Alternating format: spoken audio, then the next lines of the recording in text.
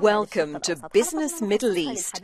This week we're taking a look at commodity prices. There's a ray of hope for the price of oil and precious metals. Since the beginning of this month, there have been some significant increases. After disappointing results on the stock market in the third quarter, it seems that investors are looking to precious metals as safe havens.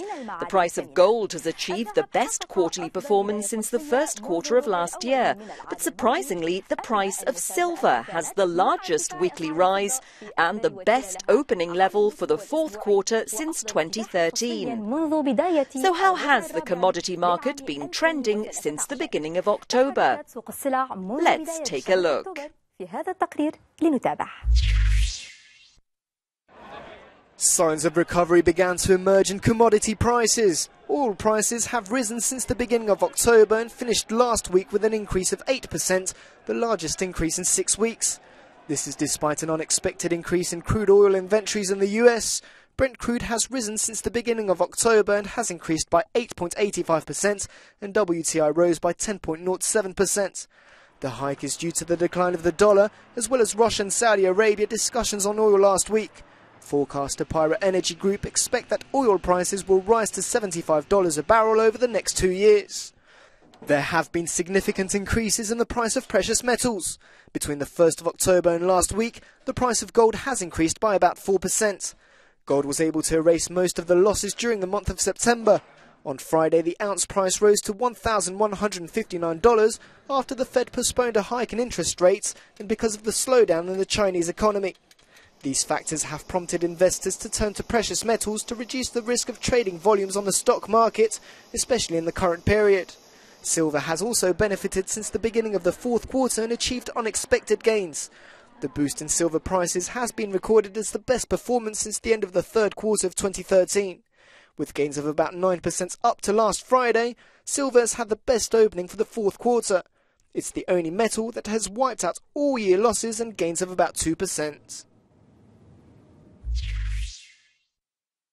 To gain further insight on oil and precious metals prices, joining us as usual is Noordin Al Hammoury, Chief Market Strategist at ADS Securities. Hello, Noor. There's been a remarkable hike in oil prices, especially last week, and this is in spite of the rise in US inventories. Is it possible to say that a price recovery's begun? Yes, as we noted before in August, there were signs of an upcoming stabilization period, as most of the negative fundamentals had been priced in already. Moreover, the gold to oil ratio showed a notable sign for this stabilization before any other indicators. In addition to that, we were looking for a weaker dollar due to the Federal Reserve policy leading to oil rallying recently.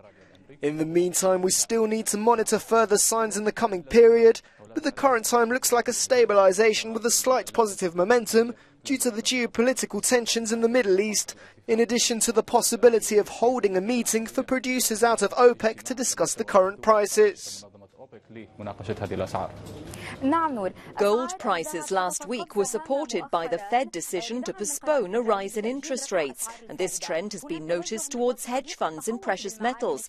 Could these trends continue, or are they just for the current period?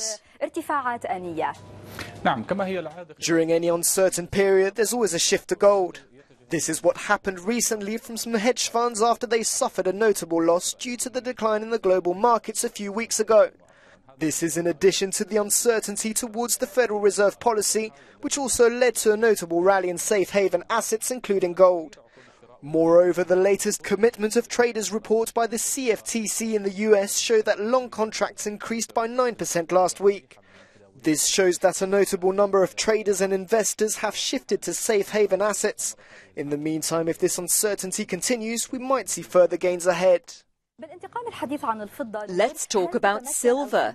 If the gold to silver ratio is true, how can silver continue to gain future profits?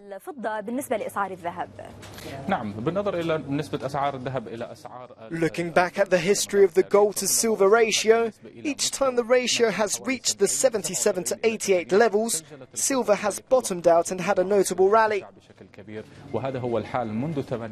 This is the case of this ratio and its relationship with silver since the 80s.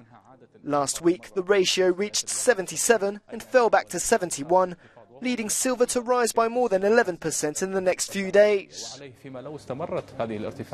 Therefore, if silver manages to gain further in the coming weeks, and if the ratio continues to trade below the 80 level, we can say that silver has bottomed out and further gains can be expected in the future. Okay, Noor, what are the levels traders should be looking at now? In the short term, many traders and investors are talking about 17 and 18 dollars per ounce, as these two levels represent a solid resistance area, which may lead to a short-term downward decline before rising further But this is if the gold to silver ratio is right. شكرا لك نور شكرا جزيلا هذا كان كل شيء لهذا الأسبوع يمكن That's all for now. Share your thoughts with us via our Euronews social network using hashtag Business Middle East. Thanks for watching. See you next week.